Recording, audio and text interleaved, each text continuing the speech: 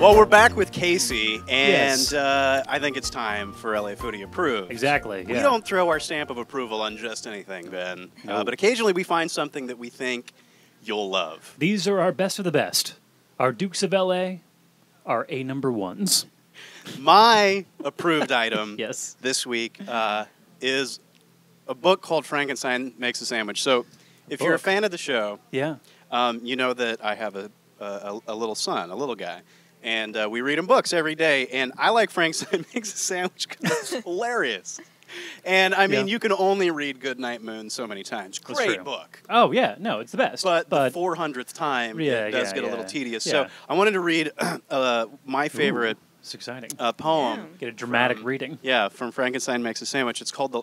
Well, here's why I'm recommending it on the show. Okay. Not only because it's funny, and not only because it's if you have kids, it's a nice thing to read your kid. Sure. Which you're going to think I'm crazy as soon as I read this. You're gonna be like, uh, maybe we should call child services. Uh-huh. Um, it's about monsters and food, which are like my two favorite things. Can you do I it know, in the yeah. form of a poetry slam? Uh, God, I don't think we have enough space. The lunch sack of Notre Dame.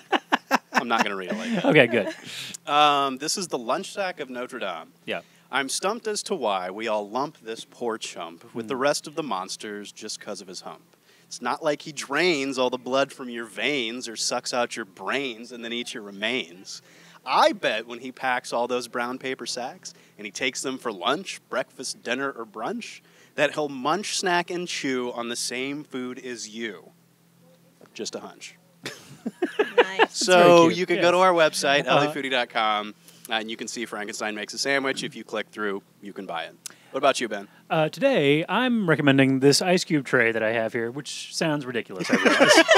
it does sound ridiculous. but let's say you like drinking whiskey, right? Uh-huh. You like drinking a little whiskey. Let's say that. You like drinking a little whiskey. I- You had a after little bit before, I- yeah. I'm to, yeah. I mean, this is not like a, a whiskey that you want to be drinking all the time, Jim Beam. but you know, it's fine. But these ice cubes, though, if you're drinking a nice whiskey, the key is that you want an ice cube that doesn't melt very fast. I think uh, low surface to mash Low ratio surface, is what they call surface it. to mass ratio, because this sphere has the.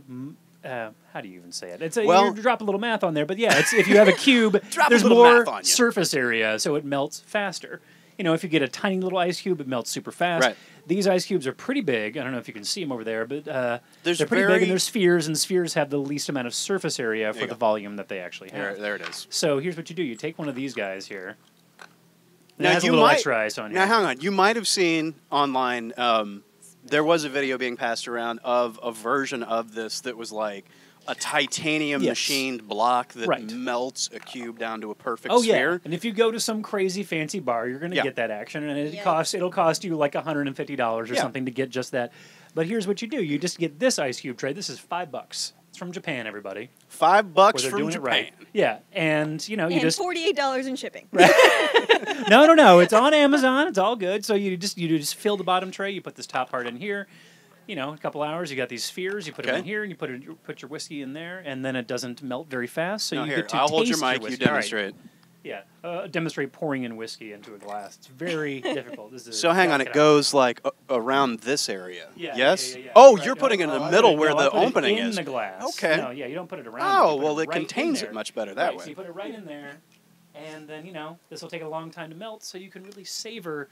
The Jim Beam, unfortunately, is what I'm going to be savoring here. But if you Hey. get a good whiskey, then you'll really taste it. Don't talk shit on Jim. I, uh, Jim got me through some difficult times over years. But that's you know, check out our website again, lafoodie.com. Both of these things are on there, LA Foodie approved, and when you buy f- from the website, we get a little something We too. get a little spiff. So you It's another cool way to support. by buying something that's actually really awesome, like these ice cubes or that book, which is really funny. we don't So- recommend shitty stuff. Yeah, exactly. so, you know what? I think that means it's time for Yelp Counter Yelp.